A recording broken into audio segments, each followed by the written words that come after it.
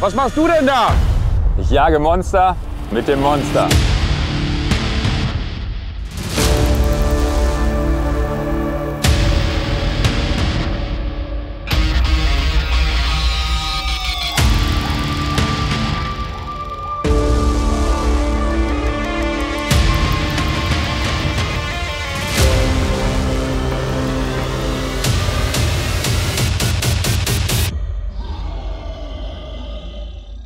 Der Monstermagnet ist zurück. Monster Slug in der Version 2.0. Sechs superfängige Dekore für jede Situation. Integrierte Luftkammer im Schwanzteil, damit der Köder immer perfekt gerade unter Wasser steht. Integrierte Glasrassel, um jeden Räuber auf sich aufmerksam zu machen. Ganz neu dazu die Monster Heads.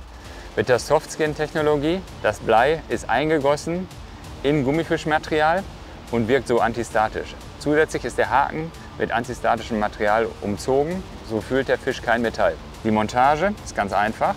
Er schneidet vom Monster Slug ein kleines Stückchen vorne ab. Der Monster Head hat eine Screw. Das Ganze schraubt ihr einfach drauf. So entsteht eine perfekte Einheit aus Kopf und Gummiköder. Auch von unten erkennt der Fisch keinen Unterschied zu einem echten Beutefisch. Den Monster Slug gibt es in zwei Größen. 25 cm und 20 cm und die Köpfe in zwei Gewichtsklassen, 55 Gramm und 45 Gramm. Damit ist kein Räuber sicher. Neben den Pelagen kann man den Monster Slug allerdings auch super zum Jiggen benutzen oder sogar zum Surfjerken im ganz flachen Wasser. Probiert's aus. Zusätzlich zum Monster Slug gibt es jetzt auch den Monster Shed. Eigentlich der gleiche Köder mit den gleichen Features. Luftkammer hinten, integrierte Rassel, aber mit Pedaltail.